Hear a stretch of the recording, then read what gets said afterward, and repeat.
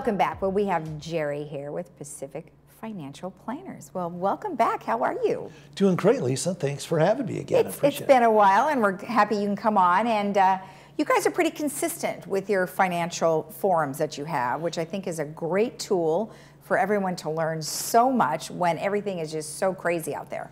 It is. We, we think the format's really good. It's a, we meet the last Tuesday of the month, okay. Clubhouse 5, Room one mm -hmm. And um, with that group, we have a lot of experienced investors with a lot of history, right? That mm-hmm. that can share with each other. That's the forum part of it all. Okay. It's it's everyone kind of groups in. Yeah, there's a topic, and I you know bring up different topics and talk about them or moderate them, really, if right. you will. Right. But it's a shared group where people can talk about their experiences and maybe even experiences with that topic. So you have younger, newer people, and you have older, more experienced people, and everyone shares. It's a great venue. So you're referring to the people that are attending. So you would say, okay, hey, you know, George, you have had this experience, and then he shares it with the group. Yeah, well, who, who's oh. had some experience with oh, this? Okay. You know, for example, we talk about uh, coming up. Uh, you know, we talk about insurance or annuities.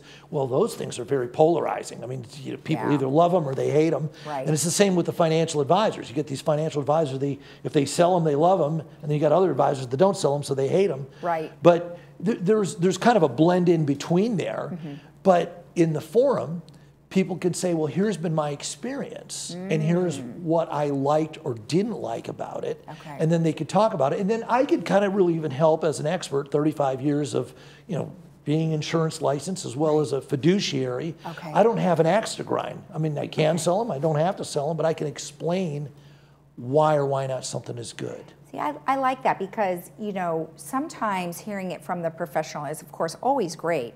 But when you have a peer who says, oh, I wouldn't do that. This is what happened to me, or this was awesome, which I think is really nice because it seems like I've been doing that lately as I've been talking to peers going, gosh, you know, should I invest in this or should I invest in that because I, I don't have a, a professional that's helping. So you're kind of winging it and you never really know. So that's kind of nice. And then to have you there is even better where you can back that up.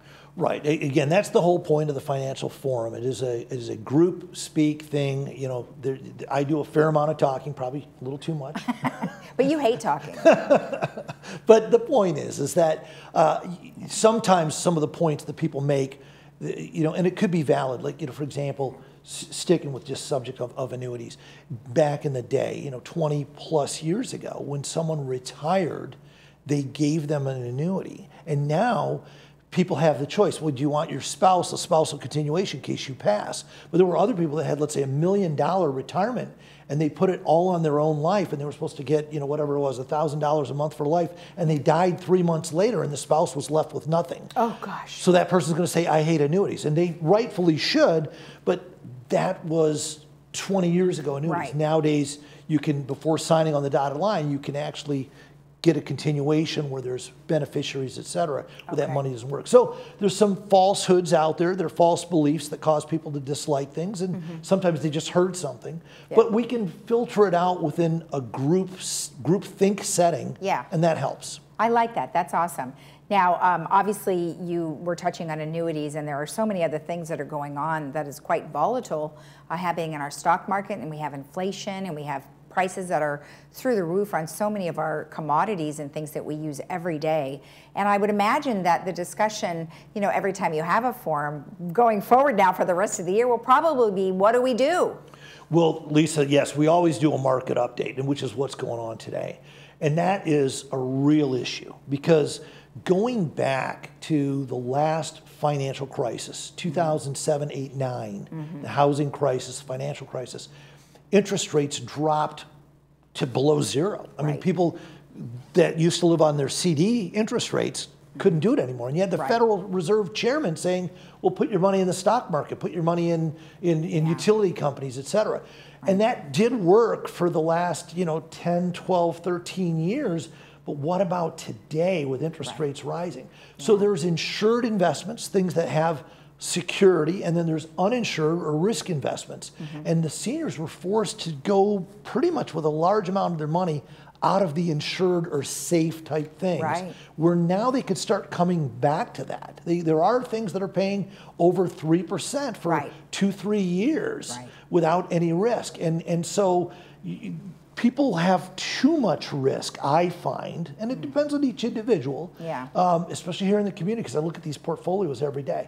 So, but there are sectors that are winning too. Like you Yeah. said, if you are participating in the higher oil and gas, if you're participating in the rising steel costs and the Mm-hmm. rising commodity costs by owning those companies or funds or ETFs, you can do well. So it is a matter of if, if you buy and hold and just hope, that's not a really good strategy. And a lot of people still hold that. We do try to not shake that belief, but get people to understand that things change. Right. And as they change, like right now, this war in Ukraine, et cetera, Yeah. you've got to change with it a little bit. Well, right, and I and I'm hoping you can help guide folks to that because honestly, you know, I'm evaluating. I'm I'm not retired, but I could be in the next, you know, five years. It's like, well, what do I do now? Because you really have to look at your nest egg, going, oh my gosh, you know, what's going to happen to it? And and like you said, you're trying to find something that pays more than you know your point zero whatever ridiculous percentages that the banks are doing. Right.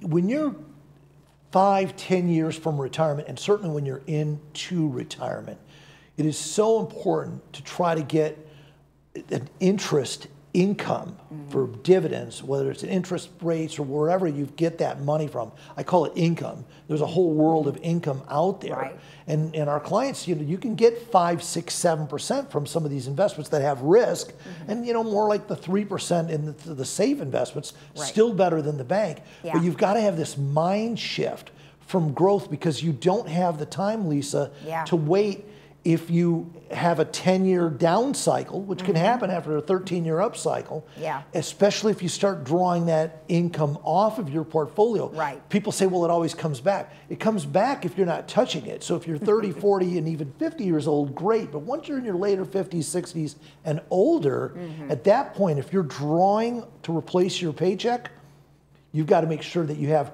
return of capital more than return on capital, which is your growth. Exactly. Now I know we, we didn't get to talk about one item, but we'll have you back again and have you talk about was long-term care insurance. And I think that's really important to discuss because it can be very costly for some people, but maybe not for others. So let's have you come back and talk about that. And then I also want to have you back. I want to talk about dividends. Right, and that's, yeah, the dividend Yeah, income. Because I think that's something everyone should take a look at. It is. Okay. And the long-term care, it's just, one point, just have a plan. Yeah. Whether you buy insurance or you plan it out, you pay for it yourself, gotta have a plan. We'll talk about that next time. Thank you for having me. You're Lisa. welcome. Really and then, real appreciate it. quick, but if somebody wants to know more about any of the forums that you're having, they should go to safeincometoday.com. Or, of course, they can call the number on our screen 949 219 0692. Perfect. Thank you. I, th- I feel like we should call this segment, you know, more more of your money with Jerry. You have more money. More money. All right, perfect. Thank you. Thank you. All right, and of course, if you want more information or to have more money with Jerry, you can go to safeincometoday.com or call the number on your screen. We'll be right back.